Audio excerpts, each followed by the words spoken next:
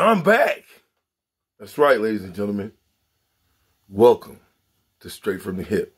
I'm your host, Dr. Clairvoyant Vershan Jackson, three time national champ at the University of Nebraska, 1994, 95, and 97. Michigan State Week. Before I do that, let's uh, give a 10 second pause for my uncle, uh, one of the first African American police officers on the force, um, Isaiah Jackson Jr. Um,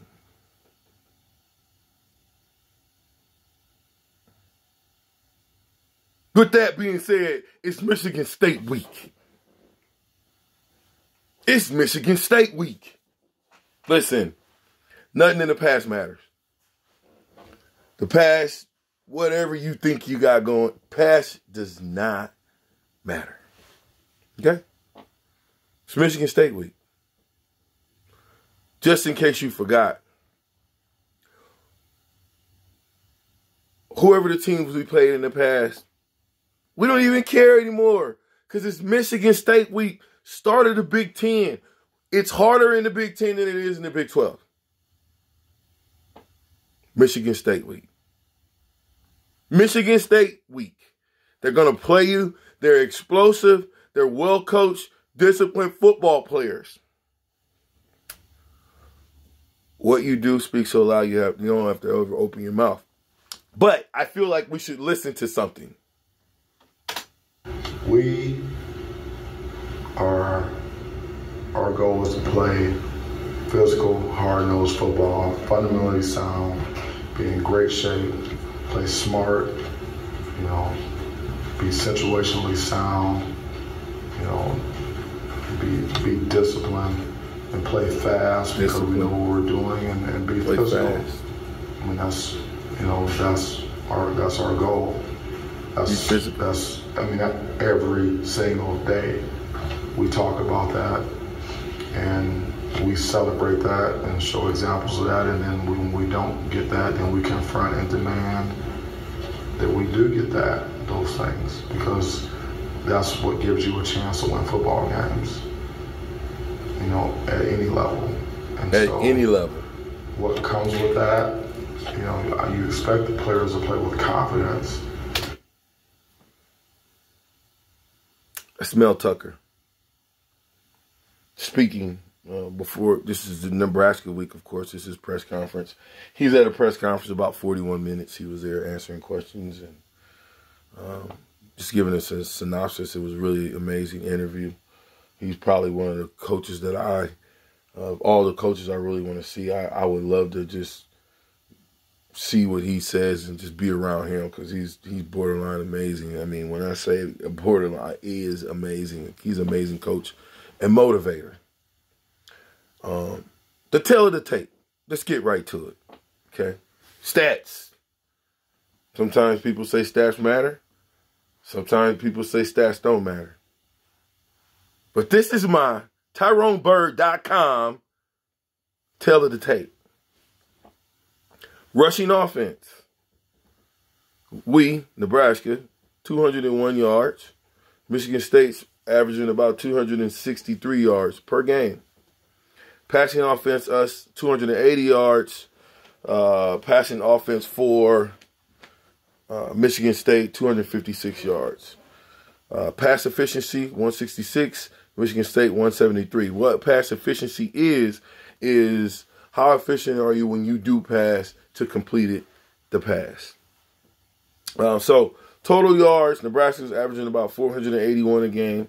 Michigan State's averaging about 520 a game.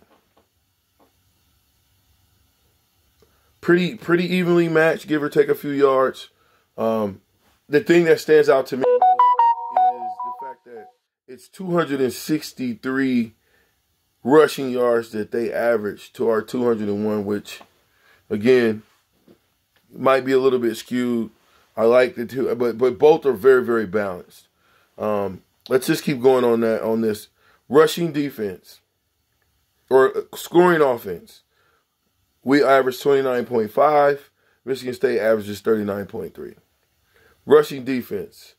Uh, we give up 156 yards per game. Michigan State gives up 112. Pass defense. Take note. We give up 190 yards per game. Michigan State gave, gives up 269 yards per game. Ding, ding, ding, ding, ding, ding, ding. We might have to throw the ball to win this game because they're big up front, they're physical up front, they're well coached up front, they're disciplined up front, they're explosive up front, and they're in shape, according to the coach. Okay, here's where it gets ugly. After I tell you scoring defense. Scoring defense, we average about 15.8. They average 17.3. In total defense, we, we give up 346 yards to them giving up 381 yards, which is about 100 off of our average. Here's where it gets ugly. And I just had to, I didn't want to go through defense because I was looking like, oh, really? Net punting, 36 yards for us. The ranking on that is 106. Their net punting is 39.8. The ranking is, is 64. Now, that's not a lot. That's only 3.8 yards, but it's a diff- big difference when you talk. It's almost 44 points different. Um, because football is a, a game of inches. But punt return, we're averaging 1.5 yards per punt return. That's not going to get it done. And that is unacceptable for any college football team, high school team, to average 1.5 yards. We have to get this changed around. We are ranked 112 in punt returns. Not going to work. Uh, they they're getting uh, 11.3 a, per a return, ranked 38th in the country. Kickoff return, we're averaging 16.25, which ranks us 104th. They're ranked, they're getting 22 yards, which ranks them 46. Turnover margin, where uh, it says zero, which would rank us 70 and so basically that's even. Like you're not coming out ahead. If you get if they get we give up two turnovers, uh, we get two turnovers. So it's a zero. Whereas you want to be plus, you know, uh, Michigan State's plus one in the turnover game. Um, why do I say all of that? I don't know. I don't know. I think I think listen, any given Saturday, anybody can beat anybody. On any given Saturday, Anybody has a puncher's chance if you come to play. Let me give you another. Uh, Coach Mel Tucker.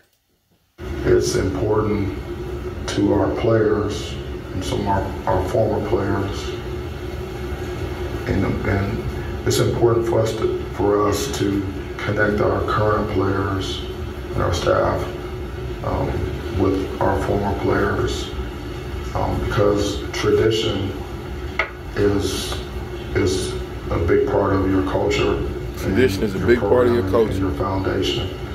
And so, um, as much as we can connect, because I'm really big on connection, as much as we connect, as much as we can do that, um, I believe that the stronger program we're going to have, and the, the, the stronger, uh, it, it strengthens our culture um, because we want to build something that is that is um, has staying power. That you know, year in and year out, you know what you're going to get, um, and um, you know, someone brought up Wisconsin. You know, early when I was there, you know, with Coach Alvarez in his first recruiting class, I mean, we were one and ten, five and six. I went a little bit overboard, but the point was he was embracing the former players and connecting the, the current players with the former players. Enough on that. TyroneBird.com, y'all. Get get all your insurance needs. TyroneBird.com. Get the black shirt coverage that you deserve. TyroneBird.com. Servicing Arizona, Nebraska, and Colorado. TyroneBird.com. Now, Something that's going to be a problem for us is going to be the fan noise, crowd noise. Okay? Fans will be a problem. So you have to learn how to take the fans out of the game. You know how you do that? By scoring first.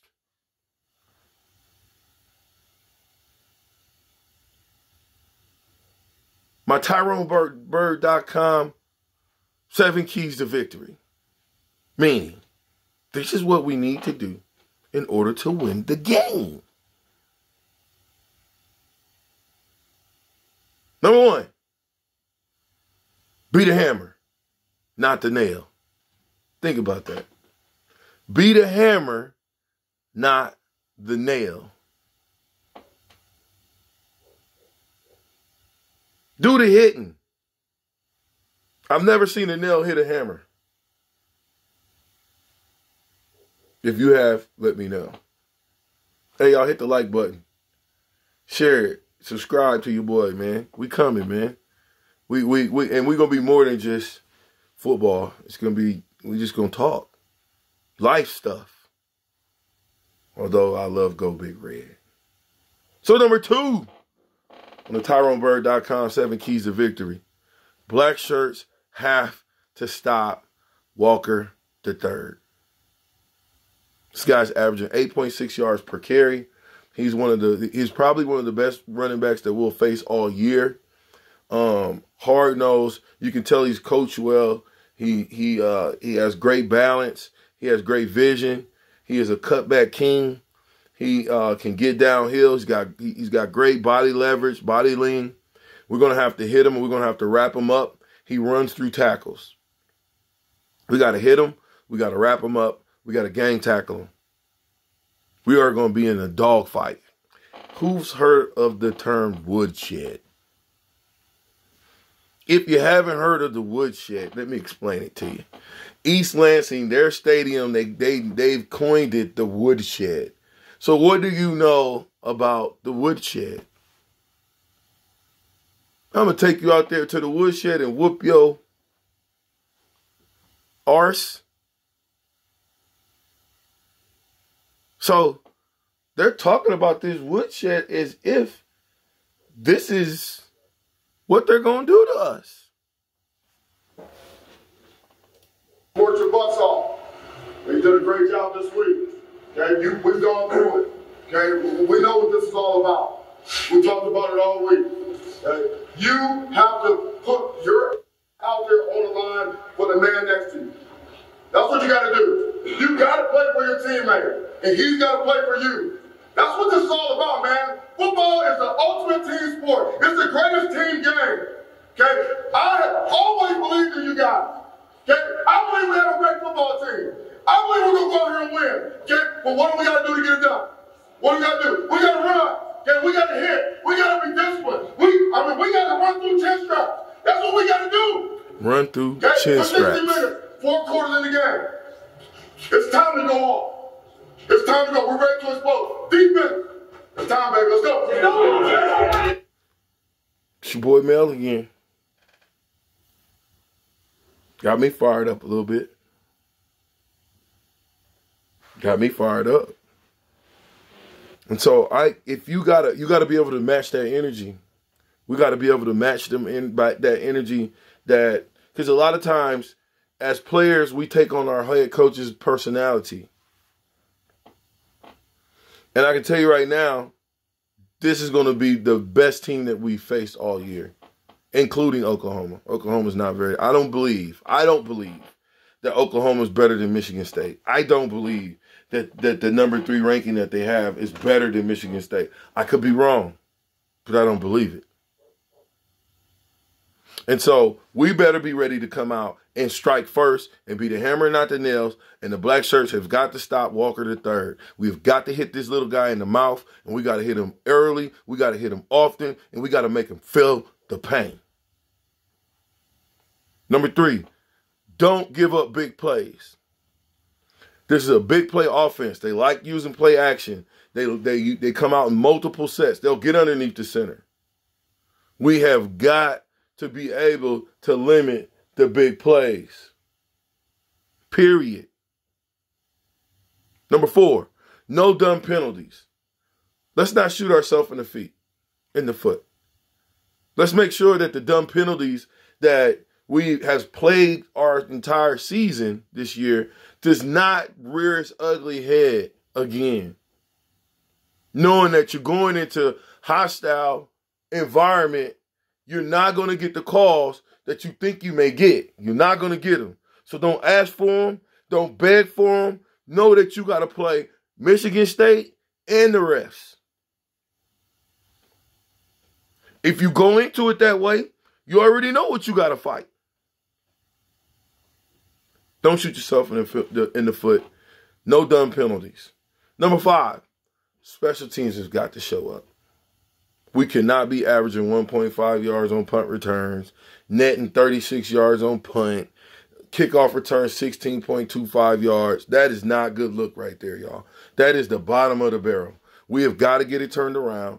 Everybody in the room, coaches, players, everybody included, have got to accept responsibilities for special teams because it's good for 7 to 14 points every game. Thanks, Coach Osborne. Period. Number six, Amart. I say Amart because he got his own shopping center, baby. He got all types of different moves, flavors, tools, bagels, washer dryers. He got the whole gambit. And I think he's on his way to being great. But he's got to continue to facilitate the game, continue to make smart decisions. He had a couple decisions that he could have made in the last game that might have um, helped us to, to, to get a win. We're going to have to score in this game. Offense wins games. Defense wins championships.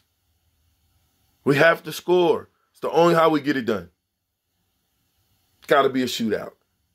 45 to 41. Something like that. It's the only how it's going to get it done. That's it. Got to be a shootout. And and Amart has got to facilitate. He's got to make smart decisions. He's got to encourage his teammates. He's got to be the leader that every quarterback should be and and and and, and what he would be. But now is the time. Big Ten time. Game's gonna get a little bit harder. The fight's gonna be a little bit stronger. Number seven. Quiet down the woodshed. Woodshed is their fan base. It's their fan base. Got to quiet it down. How you quiet it down is you be the hammer, not the nail. You score first. You smack a person in the mouth within the constraints of the game. You keep smacking them in the mouth after you smack them once. You smack them again. You smack them a third or fourth time. You smack them and control the line of scrimmage. You smack them in and, and you you uh you you control uh, the rushing. We have got to rush over 100 yards as a running back unit in order to win this game. And there will not be a three man front that is going to be in front of you. You're going to see four, five, six, and seven in the box all day long. I don't think that Michigan State is going to let Amart beat us. He doesn't. They don't want to anyway. So I think they may have not a spy, but somebody that might attack. I don't know. All I'm saying is we have to be ready to go. We have to be hitting on all cylinders. We have to limit the mistakes. We have to run harder than we ever ran ran before. We have to tackle harder than we ever tackle. We have to be sure tacklers. We have to be more disciplined than we ever been disciplined. So every game we getting better and better. Team that can't be beat won't be beat because we got better and better and better and better and better and better. It's time. It's time we had a, a significant win that we put a whole complete game together.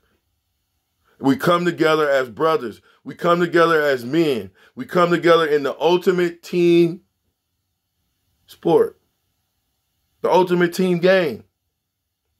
Football. 100 and some team members. 11 on offense, 11 on defense that can play. 11 on special teams that can play. Yet you need all them people on that team to make this go around. Now's the time for us to upset a team that they want to beat the tar out of us. Believe me, they want to beat us up. And if they get a chance to put on the gas on us, if we don't play well, if we don't act like we belong there, and we want to win the game worse than they want to win the game, could be a long night.